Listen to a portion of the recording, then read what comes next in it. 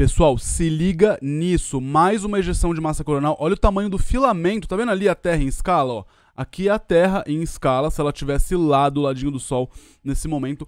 E olha o tamanho do filamento que se rompe, que se quebra e lança material solar para o espaço. Para onde? Para a direção da Terra, óbvio, né? A princípio parecia que não ia ser na direção da Terra, mas sim, está confirmado. Chega aqui no dia 30 de novembro agora, quando é esperado uma tempestade uh, solar pequena, podendo chegar até a moderada, nível G2 no caso. Uh, Richard, o que que tá acontecendo? Devemos correr para as montanhas. E se liga nisso, tava aqui preparando o vídeo, a pauta para passar aqui para vocês. E aí, de repente, na hora que eu vou gravar, eu atualizo lá o que, que acaba de acontecer. Uma explosão de radiação super intensa. Se liga nesse mapinha aqui, ó, ó, o Brasil tá aqui, né? Foi agora no fim da tarde. Aconteceu às 19 horas e 50 minutos pelo horário internacional, então 18, 17 16. 16 e 50 pelo horário de Brasília. Olha o pico aqui de fluxo, né, de raio-x. Isso interrompe comunicação de rádio por muitos minutos, então até agora pode ainda estar acontecendo essa tempestade uh, de rádio, no caso, nesse exato momento. Vem da onde? Daquela região ativa 3500, né, que é uma região ativa que tá com uma instabilidade aí, né? Já vou mostrar as regiões ativas que estão agora viradas para a Terra, né? Mas voltando àquela ejeção de massa coronal, essa ela vai chegar aqui, né? Aquela explosão de radiação que aconteceu agora, ela foi muito forte também, essa que acaba de acontecer, né? Ela chegou próximo da cla de classe X. Nesse momento, como eu disse, está acontecendo provavelmente ainda os efeitos, né? Esse blackout uh, de rádio. E a coisa tá tão recente que eu fui tentar gravar o vídeo para mostrar, né, essa, essa explosão de radiação. E no vídeo ainda lá no Hello Viewer não tá disponível porque a imagem é muito recente. Só que eu encontrei aqui, uh, eu vou mostrar para vocês, se liga nisso.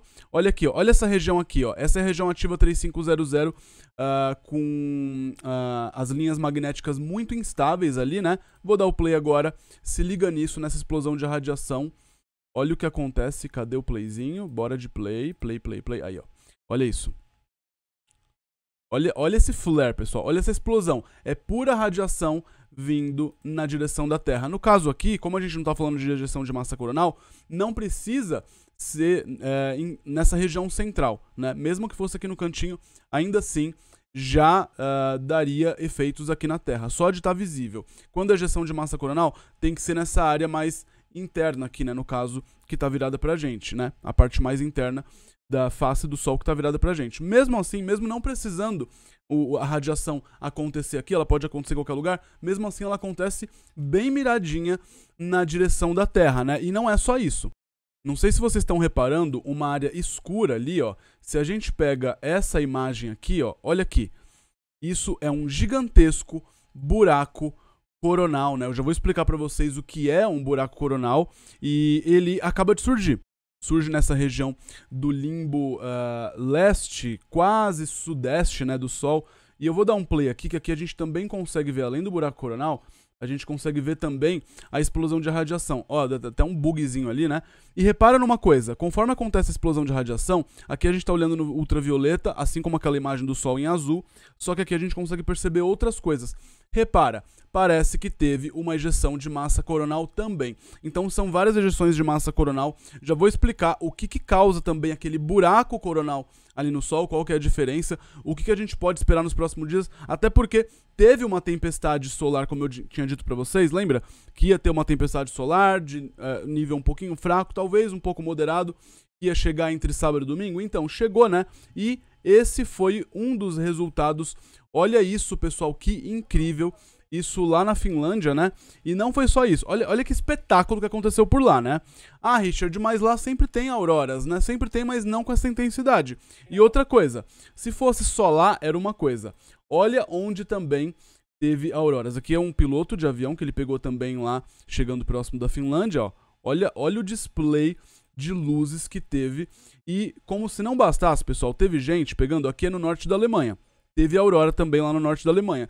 E teve gente relatando uh, aurora até mesmo no norte da Itália, para vocês terem uma ideia o quão absurdo foi. Isso vai se repetir agora, provavelmente com a mesma intensidade, talvez até um pouco maior. E não é só isso, né? O Sol está golpeando a Terra o tempo inteiro, não para. E o surgimento desse buraco uh, coronal aqui, né, que eu mostrei para vocês, também é preocupante. Já explico para vocês, mas a gente precisa do quê, né? A gente precisa da ajuda do Jack, né, o descobridor de buracos coronais. Vamos por partes. Então vamos lá. Sobre esse flare que acaba de acontecer, interrupção de comunicação de rádio. Isso é de imediato, tá? E tá de nível 2 também, tá? O nível mais extremo é 5, chegou a nível 2 e chegou agora, né? Aqui a gente consegue ver também, né, essa explosão de radiação, só que nesse a gente consegue perceber que parece que também teve material do Sol, como eu disse, sendo lançado. Se teve mesmo, isso a gente vai confirmar nas próximas horas, a gente vai conseguir ver por aqui, ó, tá? Aqui a gente consegue ver pelas imagens do Sorro, esse elástico, tem o lasco C2 e o lasco C3, né? A gente consegue ver aqui as ejeções de massa coronal acontecendo. Sobre essa quebra aqui que aconteceu ontem, ó, filamento se rompe, parte do material do Sol é lançado para o espaço, isso a gente consegue perceber aqui, ó, nessa parte sul aqui, ó, repara aqui, ó, sudoeste no caso, né? Ó, repara, olha isso parecia de imediato que não ia vir na direção da Terra, mas sim vai vir e vai atingir aqui no dia 30 de novembro. Então, ó, já guarda aí, ó, um impacto dia 30 de novembro. Olha esse fluxo aqui, né, pro norte aqui, ó, muito, muito forte, não é na direção da Terra. Além disso, repara numa coisa. Aqui a gente tem um, uma bomba aqui sendo lançada e olha aqui em cima logo em seguida. Olha aqui. Parece que teve uma outra aqui, né? Aí que tá teve sim uma outra. Olha, outro filamento gigantesco sendo desprendido aqui, ó. ó vai acontecer aqui agora na tela para vocês, ó. Ó, muito forte, vocês viram? Muito, muito forte. Então a gente tem dois, né? Essa quebra aqui, ó, que acaba de acontecer. Deixa eu colocar aqui na tela para vocês, na frente de tudo, para ficar mais claro, ó. Os dois. Primeiro, nessa região aqui, ó, agora, ó e em seguida vai ter nessa região toda aqui também essa quebra de filamento. Essa quebra de filamento ocasionou então uma ejeção de massa coronal muito forte. Essas são as duas mais significativas, só que teve várias, tá? Só ontem foram cinco ejeções de massa coronal. Então tá aí, né? Tudo isso chegando agora no dia 30 de novembro, pode dar uma leve antecipada, pode dar uma leve atrasada, mas provavelmente vai ser no dia 30 de novembro mesmo, ou seja, hoje é terça-feira, quinta-feira deve chegar aí essa tempestade solar que pode ser de nível G1 ou de nível G2. Richard, uh, quais serão os efeitos? O que a gente pode esperar para quinta-feira então, né? Em primeiro lugar, agora como eu disse, uh, efeitos daquele flare de radiação já estão acontecendo, só que esses eles não são tão intensos e eles duram poucos minutos ou no máximo algumas horas, tá? Agora, o efeito de uma ejeção de massa coronal, eles são maiores. No caso, o efeito de um joinha causa um efeito muito forte no meu coração, também uma explosão de alegria no meu coração. Se estiver gostando do vídeo, não esquece, deixa o like aqui embaixo, se inscreve no canal e ativa o sininho das notificações para não perder nenhum vídeo novo. Aproveite e se torna membro do canal, porque hoje, dia 28 de novembro, vai sair um vídeo exclusivo para membros onde a gente conseguiu fazer observação com telescópio do quintal de casa e acreditem, mais um OVNI, um objeto voador não identificado e não foi identificado mesmo. E vocês sabem que quando eu mato a cobra, eu mostro a cobra, eu mostro que de fato não tem nada passando ali oficial naquela região do céu. Então se liga, clica aqui embaixo tornar-se membro para ter acesso a esse vídeo e a outros vídeos exclusivos também ajuda o canal dando aquela força, tá bom? Vamos lá então aos efeitos, né? Efeitos se for de classe G1 são menores, né? Interferências pequenas podem acontecer, inclusive em satélites. Agora, se for de nível G2, pessoal, é o seguinte, muitas auroras, uma explosão de auroras boreais e austrais, ou seja, Polo Norte e Polo Sul, tá? Animais migratórios são afetados também, astronautas, satélites, seu GPS pode começar a bugar bastante, você que usa aí bastante GPS, né? Usa o, o Google Maps ou aquele Waze, né? Qualquer, qualquer aplicativo de GPS aí para se localizar, para dirigir, por exemplo, você vai sentir os efeitos, tá bom? E de acordo com, com a NOAA aqui, ó, se liga nisso, pessoal. Aqui eles estão mostrando, né? Ó, olha aqui, ó. Vocês sabem que quando eu mato a cobra, eu mostro a cobra. Ó, tá lá, ó. A, a tempestade de radiação agora, ó, impactos de blackout de rádio de nível 2, moderados, acontecendo agora, né? Previsão para os próximos dias? Se liga nisso. Olha aqui, ó, nível G1 está sendo previsto para o dia 30. Só que também era nível G1 sendo previsto esses dias atrás, e eu falei que poderia ser um pouco mais intenso, e de fato foi um pouco mais intenso, né? Então, o que está tá acontecendo, pessoal? É o seguinte. Ah, Richard, não teve uma ejeção de massa coronal extrema, né, para assustar a gente. Só que a gente tem uma. O nosso planeta tem um campo magnético que ele fica enfraquecido conforme ele vai tendo golpes. Tá? Então a gente tem vários golpes sendo lançados, né? Várias, várias ejeções de massa coronal, muito material do Sol, vento solar muito, muito rápido, né? Sendo lançado na direção da Terra. O que acontece? Nosso campo magnético segura? Segura bonitinho. Só que está acontecendo auroras, ou seja, muitas auroras. O campo magnético está se curvando muito, né? As linhas se quebram, elas são lançadas para o lado noturno, se unem novamente e com isso enfraquece o nosso campo magnético. A tendência é o quê? A gente está ali como se fosse. Lembra aquele exemplo que eu sempre dou, né? Aquele exemplo do cara que está lá com um escudo e alguém vem dar um golpe. Um golpe só não tem problema, o escudo ele segura. Agora, se você fica ali o tempo inteiro empurrando, empurrando, você está enfraquecendo, enfraquecendo cada vez mais.